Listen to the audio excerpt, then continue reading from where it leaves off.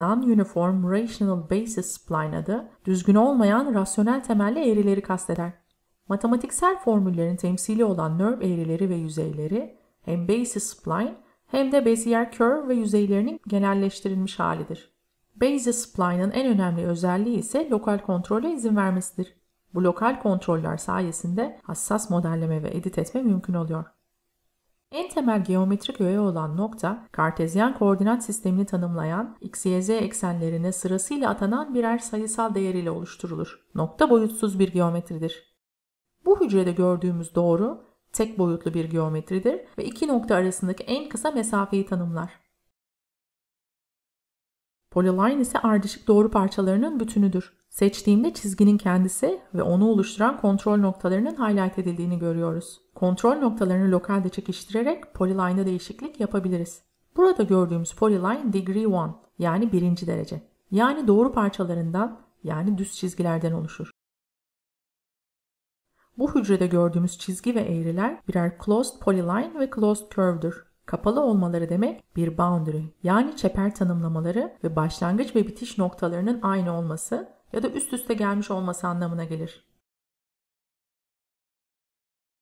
Hemen yanındaki curve degree 2 yani ikinci derece bir eğridir. İkinci derece eğriler buradaki gibi serbest formda olabileceği gibi yay, çember ve elips gibi geometrileri tariflemek için de kullanılır.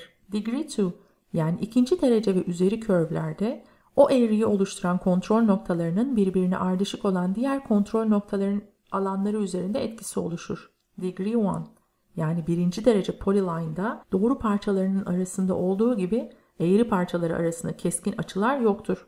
Bir sonraki curve degree 3 yani üçüncü derece bir eğridir. Curve'ün derecesi arttıkça daha smooth, akıcı bir yumuşaklığa sahip olurken sürekliliği daha iyi sağlanır. Önümüzdeki bölümde farklı derece eğrilere ve edit edilmesine detaylı değineceğiz.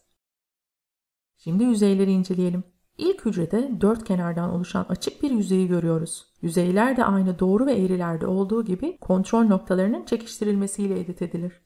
Nerve yüzeylerin kendini oluşturan eğrilerin matematiksel temsili olduğundan bahsetmiştik. Yüzeyin dört kenarı aynı zamanda yüzeyin sınırlarını belirtiyor. Surface üzerinde gördüğünüz bu çizgiler daha önce de bahsettiğim isocurve'ler. Yüzeyin kontrol noktalarını görebilmek için klavyeden fonksiyon tuşu ve F10'a basabilir ya da Main Toolbar'daki bu ikona tıklayabiliriz. Yüzeyi oluşturan eğrilere ait kontrol noktalarını çekiştirince yüzeyin formu da değişiyor.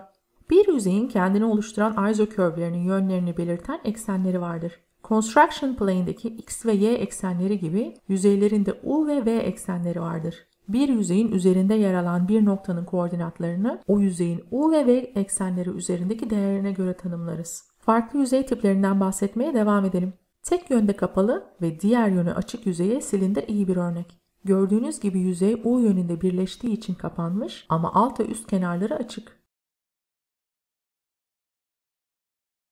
Kapalı yüzeye örnek olarak küre ya da torusu gösterebiliriz. Kapalı yüzeyler ileriki bölümlerde göreceğimiz mesela dijital fabrikasyon dosyalarını hazırlamak ya da hacim bilgisini tayin edebilmek için gerekli. Herhangi bir yüzeyi trim etmek mümkün. Yüzeyi seçtiğimde trim edilmiş alanlarda hala kontrol noktalarını görüyoruz. Çünkü esasında çıkarılan alanın bilgisi hala yüzeyi oluşturan formülde saklı. Kontrol noktalarını çekiştirerek yüzey edit edildikten sonra dahi bu yüzey antrim edilebilir. Bir nevi gizlenmiş yüzeyin bilgisi hala mevcut olduğundan antrim diyerek şuradaki boşluğu ve kenarda kırpılmış alanı tamamlayabiliriz. Trim edilmiş yüzeyler ile çalışmak modelinizde bazı aksaklıklara sebep olabilir. Kullanımından imtina etmekte fayda var.